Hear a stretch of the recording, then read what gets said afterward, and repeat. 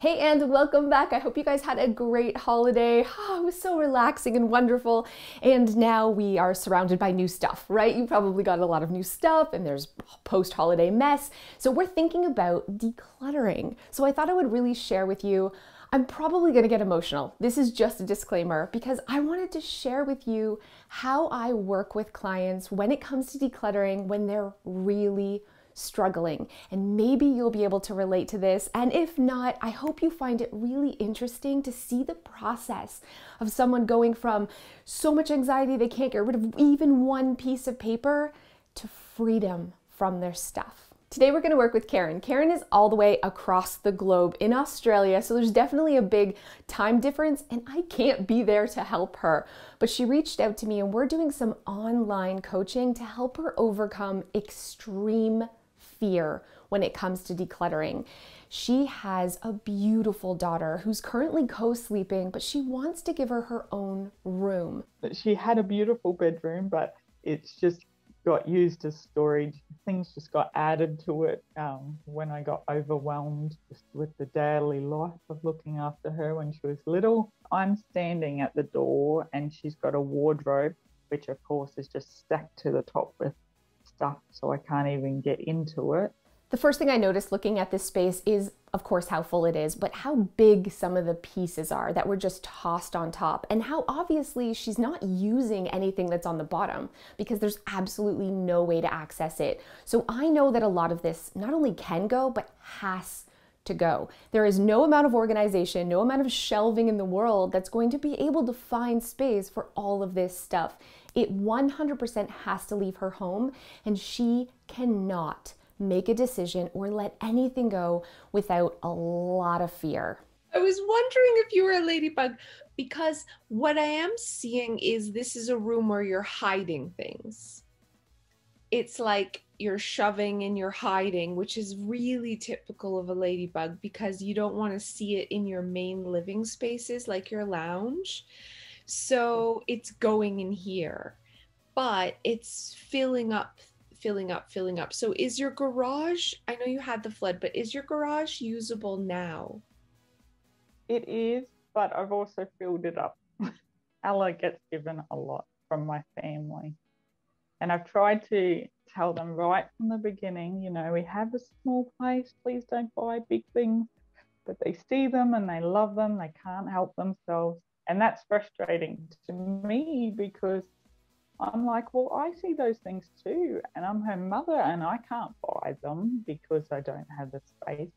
And now I've suddenly got to make space in the house for your stuff. Um, and, you know, if I even say anything, they get so upset.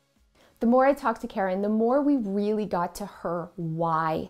And her biggest struggle was financial instability. So she saw everything as money. The money, not only that it cost to buy it, but the money that it would cost to replace it in the future.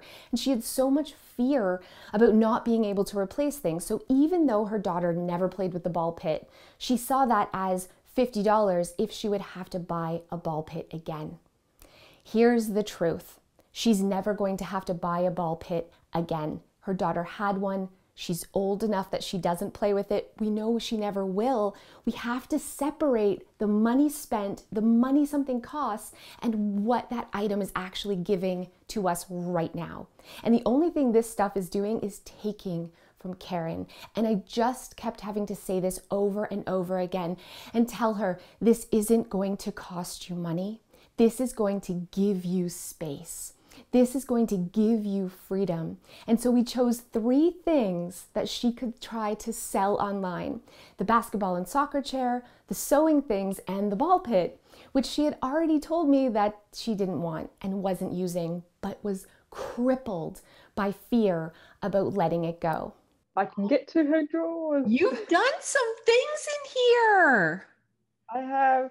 So this is all I kept out of the fabric. So I'm really proud of myself because it um, took the volume of a dishwasher space, the drawers. Yeah, we got floor space. oh, there's a real path here. This is excellent. Okay, so, so excellent. Let's be honest, decluttering and organizing doesn't seem like it should be hard. It's hard because we don't trust ourselves and we don't have the confidence that we can do this. And as soon as we don't believe in ourselves, we can't do it at all. Our brain will not even let us try. And this is what was happening with Karen and so many others. And maybe you can relate. And so it's my job to tell you that you can do this. You already know the answer. You already know if you should keep something or if you shouldn't, or if something, how it should be organized. You just don't trust yourself to just make the decision, just do it. And the great thing is, it's scary, okay? It's scary to trust yourself, but I want you to do it anyways. I, this is the mantra I told for Karen, but it should be your mantra too. I'm scared, but I'm doing it anyways. Because every time we push ourselves out of this comfort zone, it gets easier. And every time we give in to that fear, it gets harder to do it the next time. So we push through, we push through, we push through until it's not hard anymore. So Karen's homework was just to trust herself and do little bits at a time, one pile, one tiny bin, not to try to tackle the entire space because as soon as you're overwhelmed, you shut down. So we do it in small little bits, and that's how she's going to build up her confidence, and that's how you're going to build up your confidence too. So let's see how she did with our next meeting. First of all, this looks 10,000 times different than I first saw. You couldn't even walk in here. So yeah. be really proud of yourself. Look at the floor. I'm going to start with these drawer organizers here. We talked about creating another drawer organizer for your craft supplies, but what are you planning for these two? I think they're red. Yes. Um, I don't really have any sort of idea. I think I used to have like stationery in them and um I don't know. I I don't love them. I don't Yeah, think they're really functional, especially for macro organizers. They're just random junk catchers. yeah. And I think you should just let them go. So the toy on top that's still in a box, do you want to keep that? No, I don't think so. It was a birthday present that's a, year past. So she's out. I mean, not for Ella, that was for someone else. Oh, okay. You were gone, gone. well, you can try to sell that. That that's something like try to sell it again. Seven days if it hasn't sold, we donate. But I love that. Let's take a picture. I'm gonna add that to your homework. Every meeting I had with Karen, which was a lot, she got a little bit more confident, but we were chipping away at this. This was small steps every time. There was no big dramatic, here's your homework, and whoa, look at all you did. It wasn't like that at all because it wasn't even about the stuff for Karen, it was the transformation up here. And it takes a long time to love yourself, to have, uh,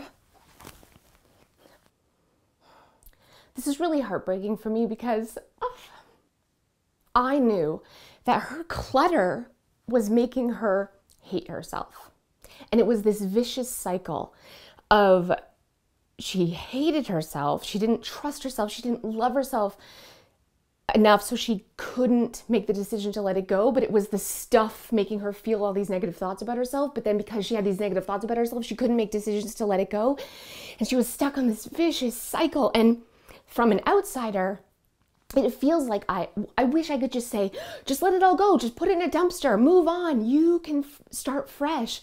But that's not the way it works we can't wave a magic wand and make somebody have self-confidence we can't wave a magic wand and, and and have them stop feeling insecure and scared about finances and making a mistake but it can happen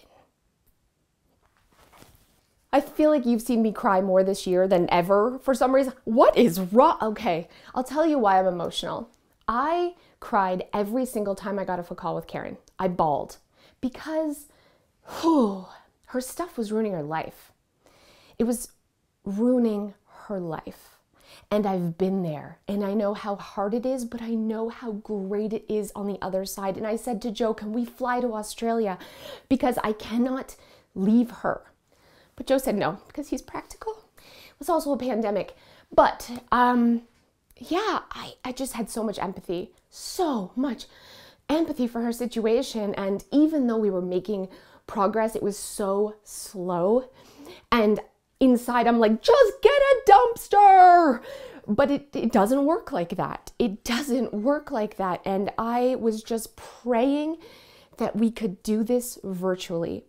I knew that if I was in person with her, I could help her faster and I and I could I could make a bigger difference and I was so scared that I would fail because we were doing it virtually. And um, just excuse my face, we're gonna get through this. so I didn't talk with Karen for a few months. Uh, we were making progress, and then I felt resistance from her.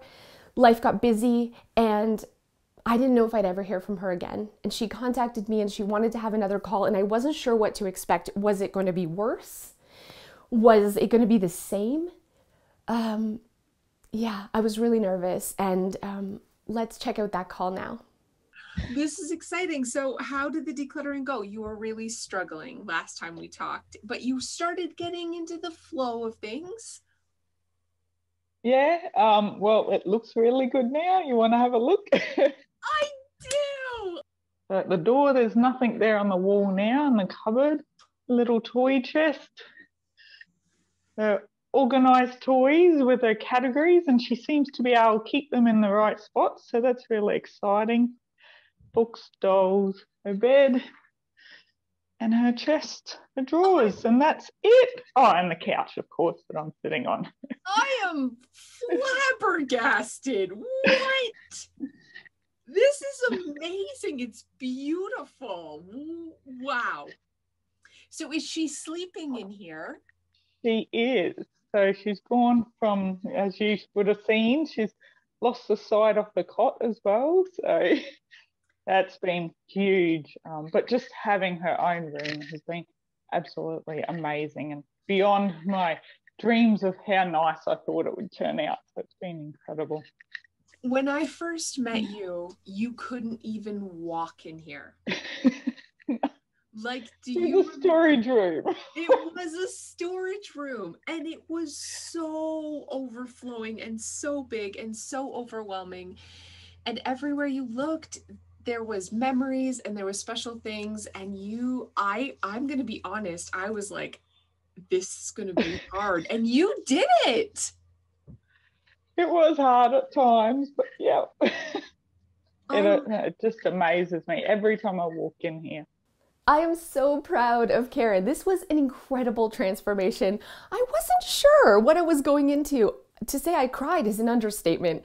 So proud of her. This room before, if you remember, was filled to the ceiling with stuff. Definitely not a bedroom. And now it's a beautiful bedroom for her daughter, a place to play and read and sleep. And look at Karen's face, her smile, her confidence. This didn't just give her daughter a room, she gave herself a new outlook on life, a new boost of confidence, and she knows she can do anything now. The amazing thing is, almost every single thing was donated. We started out with so much fear. She wanted to sell absolutely everything, but she realized during this journey that her time is worth more and she let it go piece by piece. It got easier and easier until she didn't need me or anyone else. She actually told me she decluttered the rest of her house too, and she's living a new, simpler, happier life. Ah, I'm emotional again. What?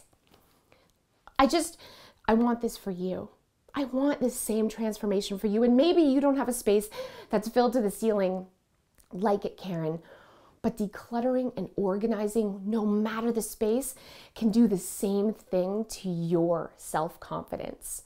So, new year, you guys, new you. Let's grab a bag, let's fill it up, and let's start creating the home that we deserve. If you want to transform your house just like Karen did, now is your chance. The Take Your House Back course is back open, and I've teamed up with Dawn from The Minimal Mom and Dana from A Slob Comes Clean, and we are your clutter coaches. We are helping you have less, do less, and want less through our online course and our Facebook support group. And coming up very soon in January, on January 15th, we are doing an all day live declutter where we are your live clutter coaches, helping you finally kick it to the curb and get the house that you deserve. It's time to take your house back. Check out the link below for all of the things that this course offers. Do not miss out. Thank you guys so much for those of you who have stayed to the end. So, Karen's story reminds me of something that Joe says all the time. He says there's two types of people in the world the people that leap out of bed and they're just like, let's go, I'm crazy, and the ones who are slow to get started. And not just out of bed, but like in every aspect of life. Karen is a really good example of a slow starter. It's like a little push. She's a rock, I'm pushing, but once she starts rolling, the momentum is amazing. I, on the other hand, I'm a burster. I'm like, boo, I do things, ah, and then I'm knocked out and I'm exhausted and I have to take a like a, a week's sleep, you know, to to re-energize myself. And I just find this so fascinating. I'm curious what you are. If you're like a slow starter like Joe, or you're like a good morning, let's run a marathon. Except we know I don't run, but you know what I'm saying. If you are a burster like me, Joe thinks it's better to be slow. He says he says he's like a grizzly bear and I'm like a jackrabbit. So I'm running around the forest, I'm much faster, and I'm like, ah! but a grizzly bear, even though it's slow to get started, he thinks is better than the jackrabbit. I'm like pretty sure grizzly bears live off of bugs because they're too slow to catch the rabbit. But let me know in the comments below. No, it's not a competition of who's better, but it is different. And I think it's interesting to know which type of person you are. So thanks so much for watching, and I'll see you guys next time.